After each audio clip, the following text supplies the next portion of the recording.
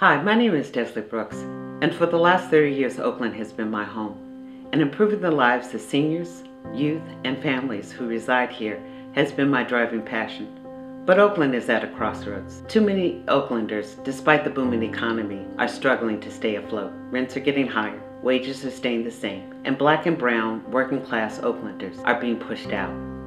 These communities at risk of being pushed out need a true champion. They need someone with the courage and independence to represent their interests, not the special interests that are profiting from their pain. My proven track record of advocacy and policy have demonstrated that I am that champion. When the banks were foreclosing on people's homes, I pushed the city to hold the banks accountable. I've worked with our unions and community organizations to pass a minimum wage and tenant protections. I've hosted model community cleanups and pushed in the budget to make sure that there was increased staffing to combat illegal dumping. In the midst of the housing crisis, I pushed for full funding and implementation of the Oakland Tenant Protection Act. I've helped to establish model affordable housing programs like the Oakland Community Land Trust.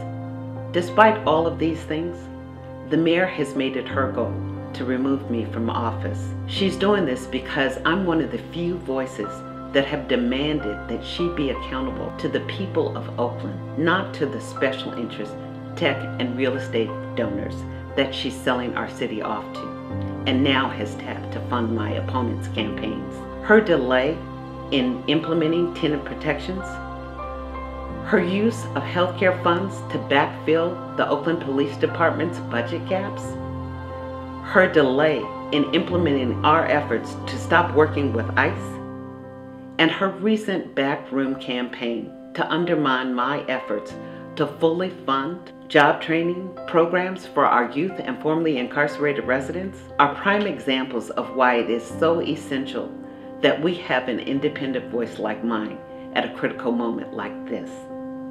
I know that a lot of Oaklanders don't think that their vote matters, but the only way that we can change the status quo is to make sure that we vote for and elect representatives that are unafraid to take unpopular but right positions that are willing to call out things when they're wrong. I've been that person. I've been your champion. I've been your voice on the Oakland City Council. I've been unafraid and unapologetic to speak out for you. Now I need your help to end the mayor's backroom special interest deals that are deciding the fate of far too many Oaklanders. I need you to go to the polls and vote for me, Desley Brooks, for Oakland City Council, District 6, on November the 6th. Thank you.